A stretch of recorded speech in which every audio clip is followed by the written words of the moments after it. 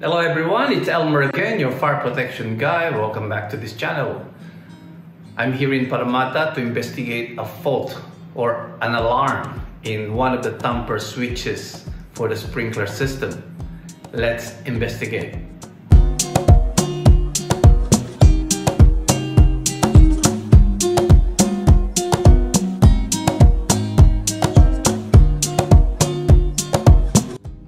These are tamper switches. They're used to monitor for any tampering of this bulb or any valve, right? So if you close this, that will create an alarm in the tamper switch and short circuit the line, the conventional line for that and activate an alarm in the system.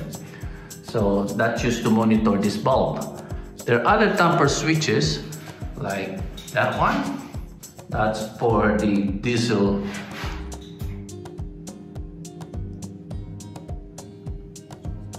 pump, which is the, uh, uh, uh, shall I say, discharge. And this one is for tamper switch for the electric pump intake, and then there's the discharge. So our problem right now is this tamper switch. Okay, when I open it, there's some corrosion and it just went on alarm. And right now, there's a problem here and we need to replace that to clear the alarm on the fire system.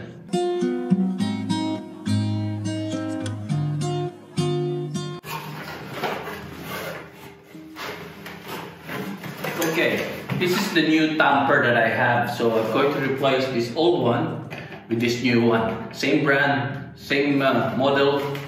So let's start doing this.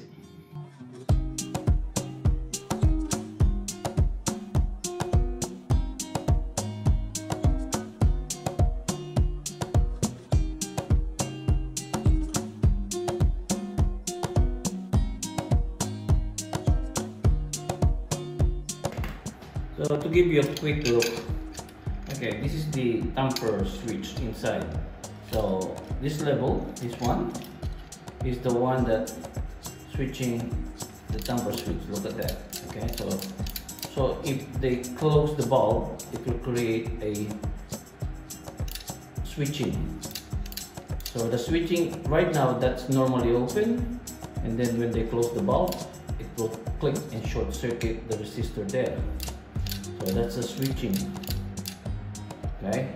So what we're going to do is uh, we're going to install it here. Alright. How it's done.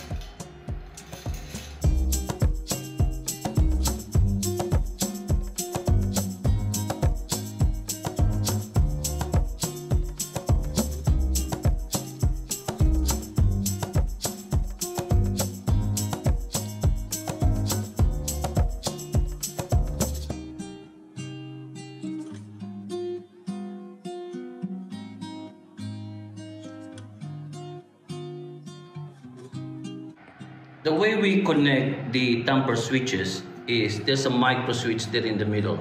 So it should be sitting there. This thing that is movable, this one is movable.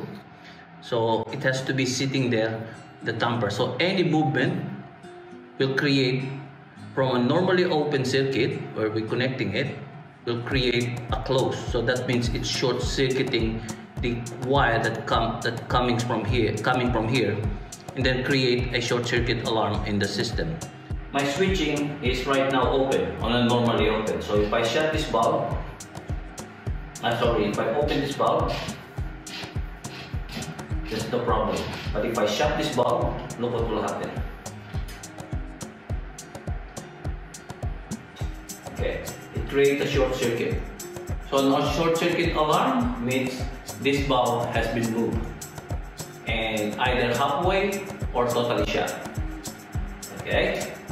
So we just connect, we're going to connect our cable to this normally open switching and we're going to test that later on. So we completed our job for today. So we were able to replace this tamper switch. So that's the one that's creating the problem. Then we're going to normalize the system or I No, at least the system is no automatically normalize itself. So there's the fire indicating panel. You can see that. So everything is normal. All right. Okay.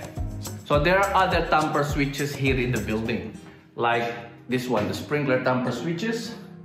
See that one, two, and three. So these tamper switches are installed, uh, connected in parallel. So any of these three that you shut, it will create a sprinkler bulb alarm. And the others are for the electric pump alarm. Uh, this one is a tamper for the electric pump and the other one is the tamper pump. Alright, that is for now. Thank you for watching my channel.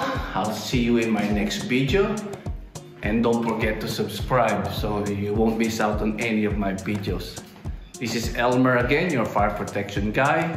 I'll be seeing you in my next video. Thank you.